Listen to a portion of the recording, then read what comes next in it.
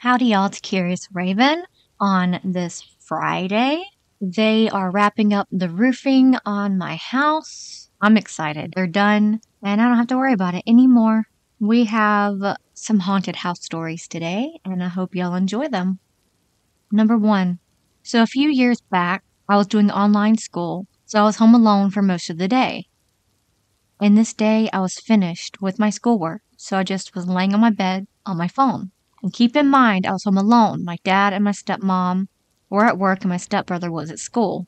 And suddenly, I started hearing these loud, heavy footsteps coming from the hallway. Also, my room is on the second floor, and it sounded like someone with heavy snow boots was slowly walking back and forth from my room to my dad's room, which was left from mine on the same side. And I just completely froze and paused the video I was watching on my phone and it just kept walking back and forth, back and forth, for I would say about two minutes. But at the time, it felt like forever. Eventually, it stopped, but I didn't move, as if I was in shock what I just heard. My initial thought was someone was in the house, but I never heard anyone walking up the stairs. By the way, the stairs and the upstairs is covered in wood, but after a minute of me just listening, to see if I hear anything else, I got up to see what it was. So I opened my door, swept around the corner, and no one was there. I went to the bathroom window, which overlooks the front yard and driveway, to see if I could see any cars, but there was none. So I just went back to my room and locked the door.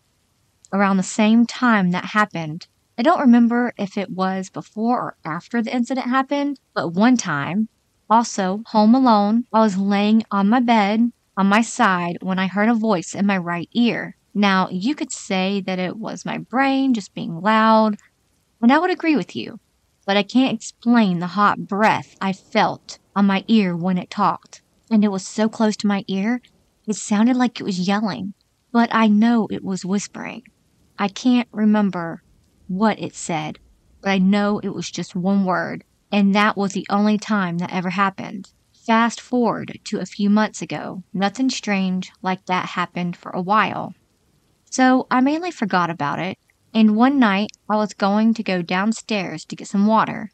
And for some reason, I also always peek around the corner, see, in the living room, just to see if anyone is there, because I get quite paranoid at night. So I walked down the stairs and started to peek into the dark living room, expecting nothing.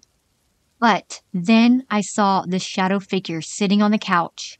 The only thing I could make out was the head shape and its shoulders. But past that, it was just a dark mass. I froze and I just stared at it. It didn't even move, just sat there in the dark. After a minute of just staring at it, I audibly said, Nope, and went back upstairs and locked my door. I still peek around the corner at night, waiting for it to be back, but it never is.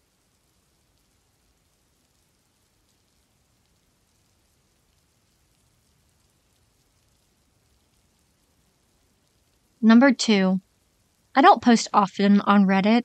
After thinking on it for a long time, I decided to speak here about my encounters. I usually don't tell people about these experiences because I get the, you're just seeing things, or you're just young and we're probably dreaming, something to that extent. I'll also say that I never had a paranormal experience encounter since, and I am very thankful for that. The fear and the confusion that comes from seeing certain things is a lasting effect on the mind and is not something that I've forgotten. I get very emotional speaking about these nights in particular.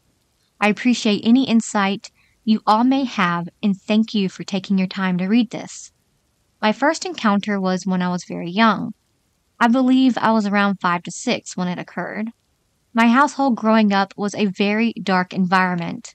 My dad was an abusive alcoholic who would do emotional and physical harm to my two siblings, myself, and my mom. We never really had much, but aside from the abuse, we stayed together and loved one another. I'm not sure if it was the energy of that place or something that had happened there before that caused what I saw. My sister had been kicked out by my dad at the time. I was sleeping with her regularly, I was young and scared of the dark and generally just didn't want to sleep alone. One night, I woke up suddenly facing the window of my room. It was a small single wide trailer. The rooms weren't big at all. My dad, being the way he was, had taken my door off because he didn't trust me for one reason or another. I just remember waking up, rolling over, and seeing this girl in a white dress in my open doorway. Her hair was black and she had no shoes on. Her hair covered her face and I couldn't see any of her features.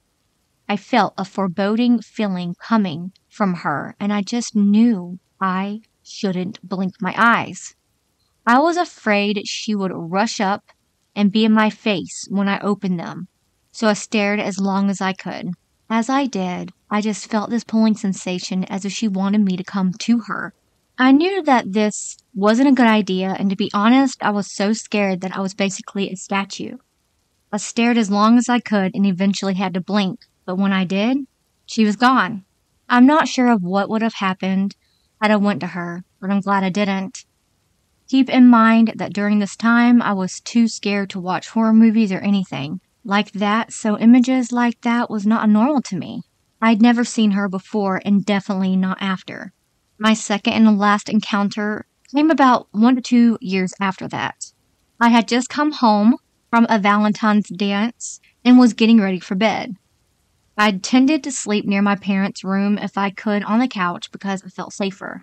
I had a great night with no negativity at all, which is what I can explain which is what I can't explain about the situation even more. While trying to sleep, I started to hear a smacking noise. Kind of like what people do who eat with their mouth open. I was very confused, so I looked down the side of the couch at the floor and saw what looked like a head. I stared at it for a bit because it was making the noise. Eventually, it slowly started looking up at me, and I could see that it had the features of an old man. It was smacking its mouth, and it looked like a lot of blood was coming out. I got so scared, and I jumped up, stomped on the head. I don't remember feeling anything solid other than the floor when I did so, and ran into my parents' room. I crawled in the bed beside my mom and tried to sleep. I wanted to check my surroundings because I was still feeling unsafe. I saw the head everywhere now, like it had duplicated itself. It was all over the sheets and on the floor beside the bed. All of them were staring at me and smacking their lips. All I could do is put my head under the covers and pray. Eventually, I fell asleep. I'm not sure if it was a toxic environment I grew up in or what that caused these to happen. I've never forgotten these experiences, and I have never even wrote this long of a post on Reddit, period. I just felt like I needed to get it off my chest and see what other people and see what other believers might think. Thank you.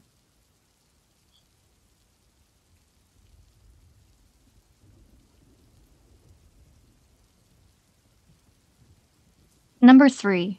Hi everyone. My roommate and I think we have ghosts in our apartment, but we're not sure. Sorry if there's broken English, it's not my first language. So, everything that happens happens when each of us are alone.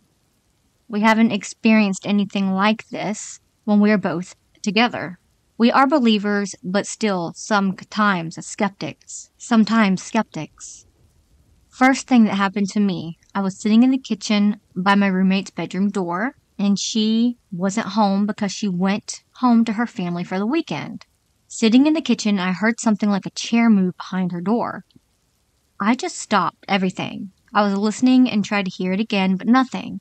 Mind you, this was just the day after we moved in.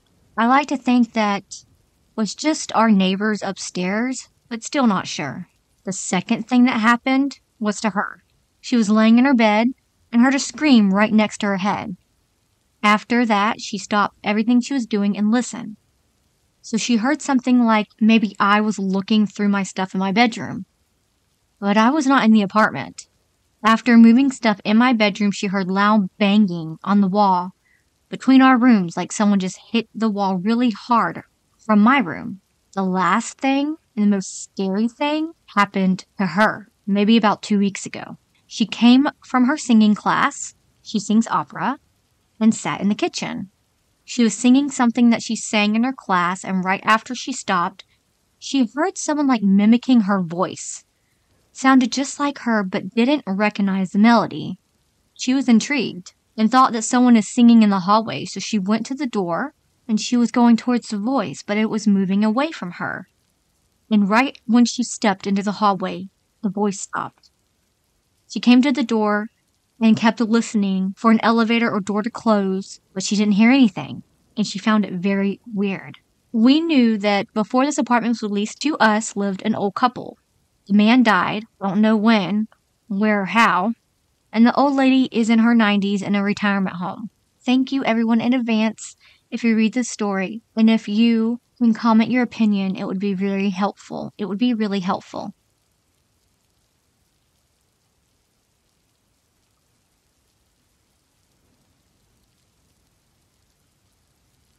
Number four, I have a 19 month old who the last few nights have been coughing in her sleep.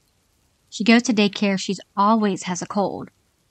Around 12:30 a.m., she woke up. I suctioned her and she laid with me for a bit until she fell back asleep. I put her back in her crib and went to bed. Around 1:45 a.m., I randomly woke up and felt a small movement in the bed. When she is in my bed, she is able to slide off the side and get down. I thought that was what I was feeling. However, this means she would have had to crawl over my husband who was asleep and slide down, which would have woken him up. This is a loud walker, and I did hear a few steps to the door, and it looked like a small figure was trying to open the door, which I leave open a crack. She is able to pull the door open. As I'm looking, the door doesn't move it just stays open a very small amount.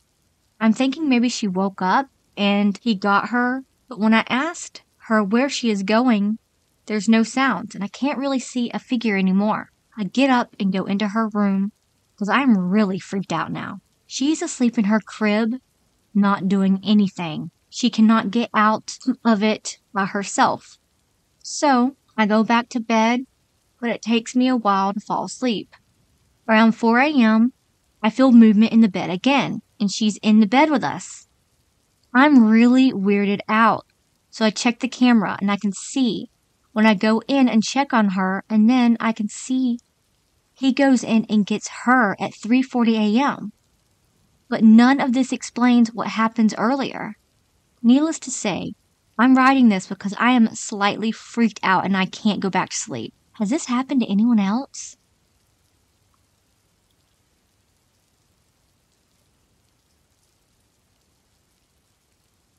Number five, when my children were six and eight years old, my husband and I had the opportunity to purchase his grandfather's house from the estate. It was a beautiful 1970s rambler, in an exclusive neighborhood. His grandparents had a complicated marriage. His grandmother, I will call it Rita, was a true grand lady of education and class. Hal was well liked in his community, but his family members had hard feelings about the way he treated Rita and the kids. The grandparents kept separate bedrooms. Rita had a room on the sunny side of the house. Rita passed away peacefully in the home. Hal died during surgery a year or so later. As we were doing some remodeling updating before we moved in, I could smell Rita's trademark lilac scent at the end of the hall by her room. I always felt a calming, peaceful presence in the sunlight in that room. It felt like her safe space. Eventually, the smell and presence went away. This house didn't have a pantry on the main level, but had a large pantry off the laundry room in the basement. This wasn't a traditional basement. The house was built on a slope, so the back half of the house had full sunlight. It's not a scary dark place. Yet, when I would ask the kids to go downstairs to get a can of diced tomatoes or something, they always hesitated. My daughter definitely told me she was afraid. This continued for a better part of 10 years. They both complained about the pantry, feeling sinister. I would sometimes wake up in the master bedroom feeling like I was being watched. In the doorway was a shadow that nearly filled it. It was a tall, slim man in a fedora, just the outline.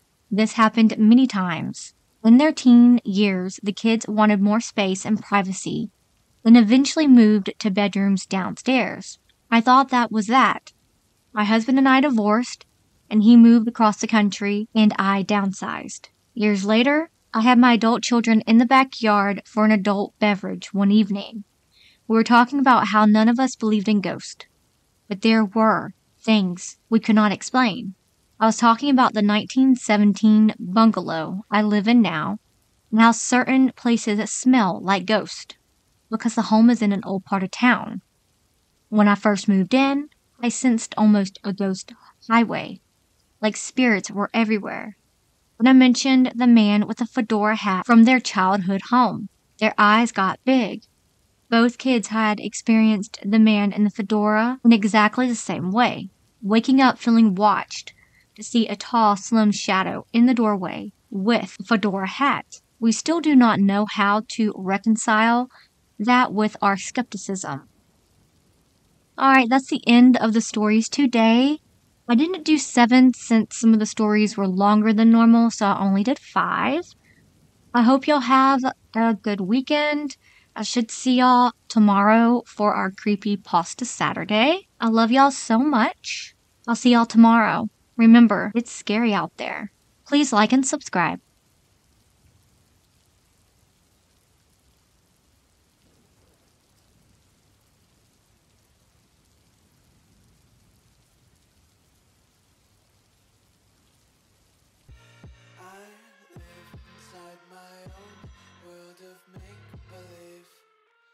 Kids screaming in the cradles, profanities. I see the world through ice covered in ink and bleach. Cross